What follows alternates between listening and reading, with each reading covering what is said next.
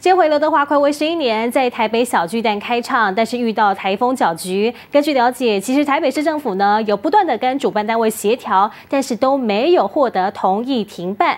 传出刘德华甚至已经在进行彩排了。市府最后拿出小巨蛋租用要点，表态为了预防灾难发生，是可以要求租用人停止活动的。后来开唱前四个半小时通知对方要停办演唱会，但是呢遭到议员批评处理。太慢了。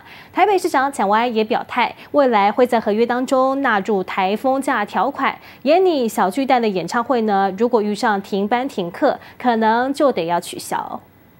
旅客跟民众的安全，我们会跟主办单位来协调。哦，晚上的活动可以考虑来取消。一早喊话要协调刘德华演唱会取消，幕僚透过副市长李四川悄悄传便笺给市长蒋万安。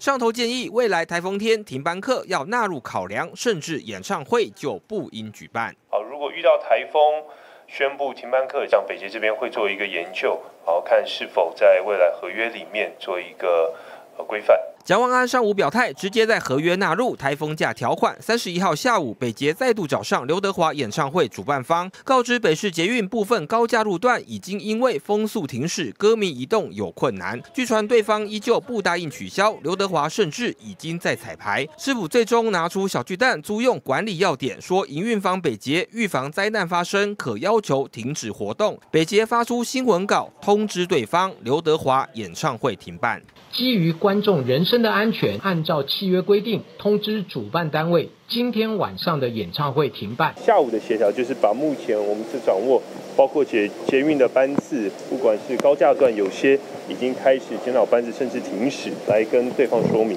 开唱前四点五小时半强迫方式停下演唱会，也让现场歌迷大崩溃。在中南部特别上来的这些歌迷们，早不要求，晚不要求，你现在才要求，拖到了今天，许多的歌迷都已经到了小巨蛋的现场。蒋万安。犹豫不决，慢慢拍。刘德华回违十一年在小巨蛋开唱，被台风搅局，更因为北市府强势介入，娱乐事件却成了政治事件。记者陈武强、叶林凡台报道。